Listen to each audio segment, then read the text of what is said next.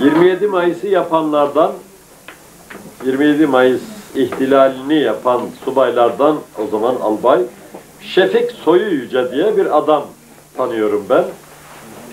Bir yerde karşılaştık. Tesadüf işte kimsiniz? O büyük ilaç firması kurmuş bilmem ne yapmış Esenboğa yolunda. Serum bilmem ne filan yapıyor. Konuşuyoruz. Dedim ki adama öğrendim ki Şefik Soyu Yüce o. Ara sıra resimlerini de görüyorum. Dedim siz 27 Mayıs ihtilaline niye katıldınız? Yani nereden başladı katılma arzusu sizde? Çünkü bütün subaylar katılmış değil bu işe. Dedi efendim benim asıl kanıma şu dokundu. Ne dokundu? İşte Erzurum'daydım. 1957'de bilmem ne filan. E işte mensubu olduğum askeri birliğe biraz dağ birliğidir bilmem nedir filan katırlar alınmış. Katır biliyorsunuz öyle yüksek yerlere tırnağı toprak tutar. Çıkar çok da mukavim bir hayvandır. Yük taşır filan. Mekkare Arapçası. Mekkare taburu. Yani katırları olan tabur der. Diyor NATO'ya bağlıyız ya diyor he. Alçak Amerika tutmuş diyor. Sanki biz ömrümüzde katır görmemişiz gibi.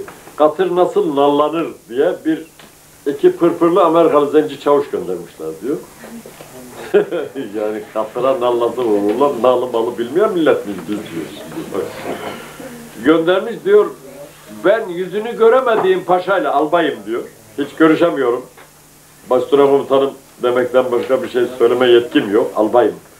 Elin diyor gevurunun iki pırpırlı az subay diyor gelmiş ne o da nalbant yani hani motorize bir- birlik uzmanı değil şu değil bu değil. Bizim paşa diyor yani ordunun kol ordunun ba- başı onunla yemek yiyor diyor. Üç öğün yemeğini onunla yiyor.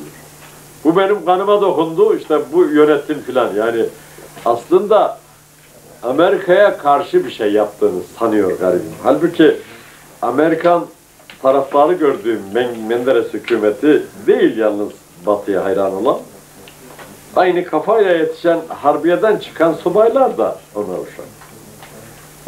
Bu işe karşı çıkmakla yani sanki o çavuşu getirtmiş oraya paşayla yemeği yedirten Adnan Menderes'miş gibi.